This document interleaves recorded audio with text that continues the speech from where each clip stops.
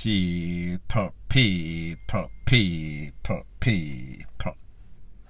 Que pasa, sapa, say what they do. Welcome to Crime Time News, where the difference is in the meds. Call it news with a buzz. This one is called Karma is a B I T C H. There should be, will be, no sorts of mercy for the merciless. The picture that you see on your screen, that is of a young lady. Her name is Georgia Blunt. She is from a place called Town, Brandon District to be specific. In that place, she is known to be a good person. She delivers water to persons in need, essential. She is also said to be a farmer, very reliable person. Whenever anybody wants anything, she will be there whether a morning, noon, or night. You could call her anytime. The people them love her. She is one of those persons that looks out for all of the kids in the community. However, she lost her way. She and the boyfriend, his name is Royal Fuller, her name Georgia Blunt. On Saturday, at about 7.30, she left in the morning like she always do. The last call that anybody got from her was maybe about almost 2 o'clock, 1.50 something. She said that she was going to do her last delivery. That was Saturday. Nobody heard from her since then. The body was found Monday at about 9.45 in the morning after them launched some sorts of search team. The body of both, meaning Royal and Georgia, they were found in an abandoned building. As a matter of fact, it was a dog that saw the search team and pretty much led them to the bodies. When them got people and tie up, people lose them life. ASSI nation style, you know exactly what I am speaking about. When that happened, the people must say, then hold on a minute. And who could an evil so for really take with this lady and the boyfriend the lady is from the era, the boyfriend is a recent transplant. However, the people in the neighborhood, the residents know them as very good people. Nobody now have nothing bad to say. It is said that the two suspects that were responsible, one man named Shartman and the next man named Ryan Colburn, Colburn, O.C. Mashy. The people them start say, they don't know say Mashy and him family.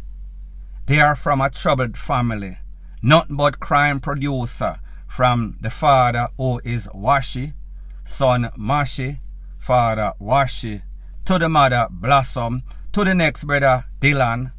All five of them nothing but criminals and the parents, meaning Washi and Blossom, they are facilitator, beneficiary of the crime. The whole family corrupt.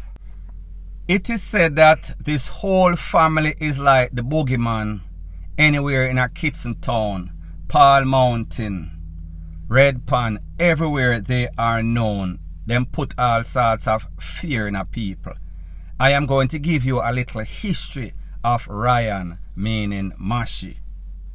It is said that before the incident as it pertains to Miss Georgia Blunt, there was an eight-year-old girl, apparently, the family crossed crossing the family of that eight-year-old crossed him.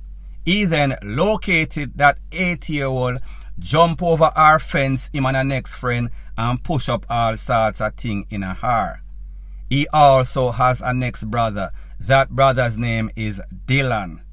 It is said that Dylan take away the life of a man of unsound mind. He was riding a bike. Him lick down the man case go a court, case get dashed out, nobody no show up. Not only is this family a set of criminals, everybody, the mother, the father, and the five brother them. Them have all sorts of po-po link.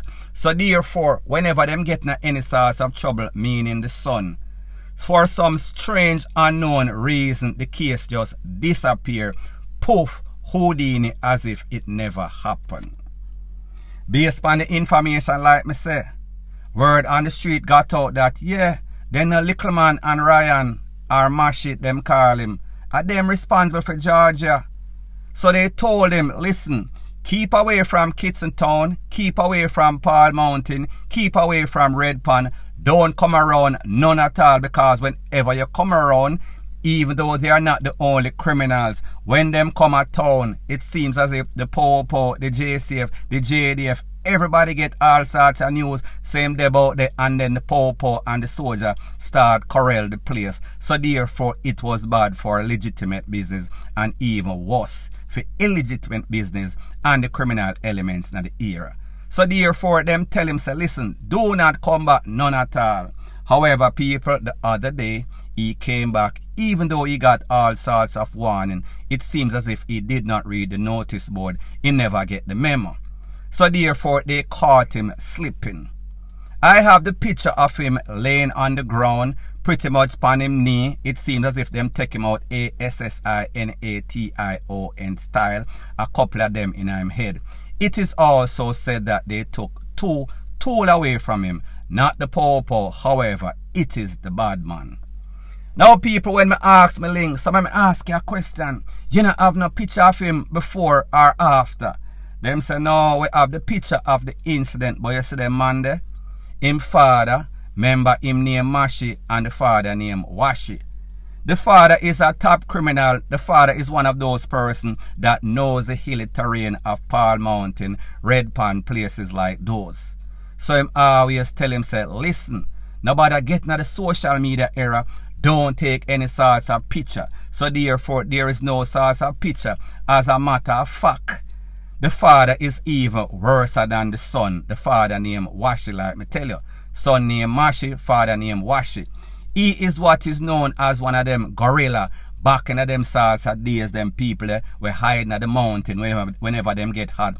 Poor, poor soldier look for them. So therefore, he is one of those bushman them call him.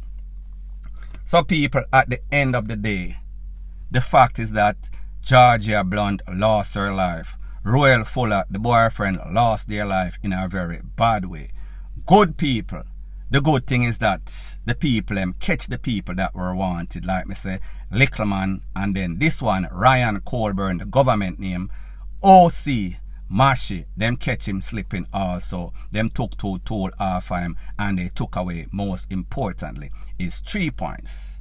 So people, I want you watch what is going on. These people, the whole of them are criminal. Five brother of them. However, the poor poor still working with them. However, the mother who is Blossom and also the father who is Washi. Them have link even though them wanted. So people, it shows you that corruption is the order of the day when it comes to Jamaica. Even the most notorious wanted people still have Popo link. Is that even conceivable? People, it is crazy. Point blank and period. Now people, before I proceed to the next part of my video, please like, comment, share and subscribe to my channel. That is how YouTube promotes videos like these to like-minded, sensible persons like yourself. And last but not least, please subscribe to my next channel. It is called Jamaica Dancehall Source. I'll be pinning the link to that channel in the description of this video. Further on in the news, this is an update about a story that I did about a 30 something year old lady. Her name is Alicia Peart that lost her life in a Clarendon. She operates a restaurant. It is called Alicia's Homestyle Restaurant. Based on the information that is out there, she was there at about 12 something lunchtime when a man came in, ordered a food, and then wheel and pop off and take her out. However, here are the details. It is said that this man ordered two food. He ordered one food, him get the food. He walked to the vehicle and he dropped off that food and then he came back. Apparently, whoever sent him or whoever was co-conspiring with him was in that vehicle. And got the confirmation that yes, she is inside. She looked like this, she looked like that. And that is when the man came back and piped her up. They then jump in the vehicle and left.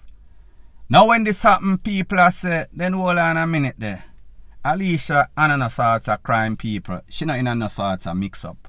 We just know her to be a hard working lady, takes care of business, people person, people always gravitate to people like that, especially when the food is good.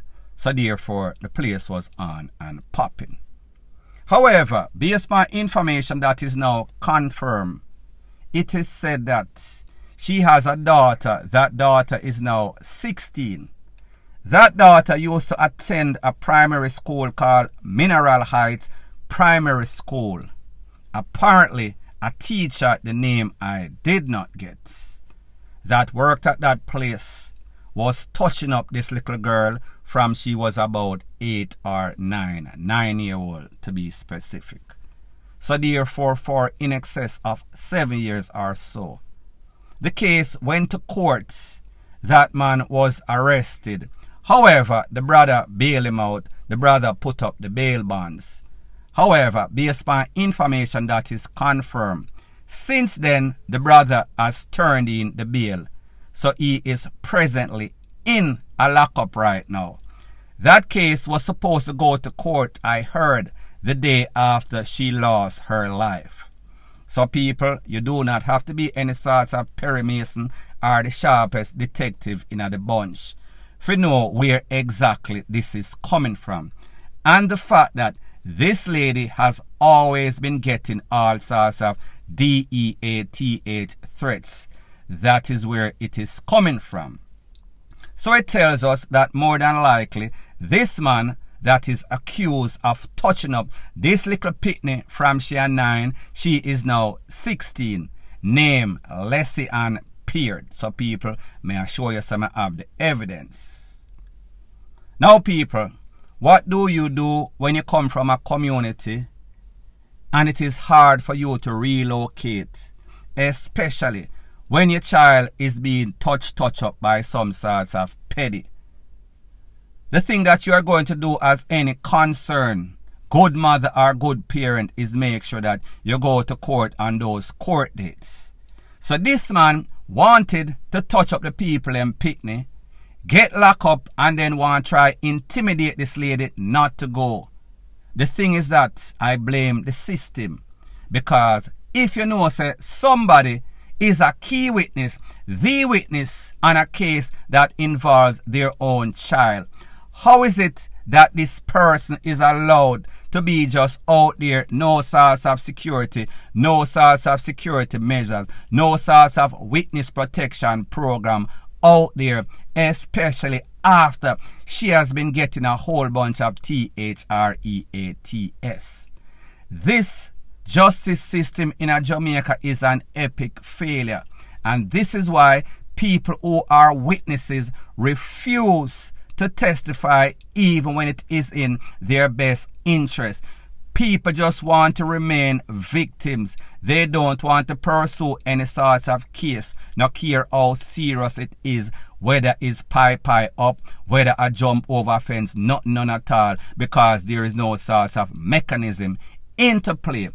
How is it that a man that is a suspect can be in a P-R-I-S-O-N and send out all sorts of threats and try intimidate the witness, the mother of a child that was touch touch up people? It makes absolutely no of sense for stuff like this to continue be happening on a daily, weekly, monthly or yearly basis. The DPP, the justice system, the court and everybody, they are a set of failure. And that is why Jamaica is in the situation like it is. It should not happen. It should not continue to happen. However, when we have incompetent, irresponsible people such as the DPP, such as the judge, such as everybody in the system, what should we expect? Jamaica, as far as I am concerned, the back of DOG, point blank and period.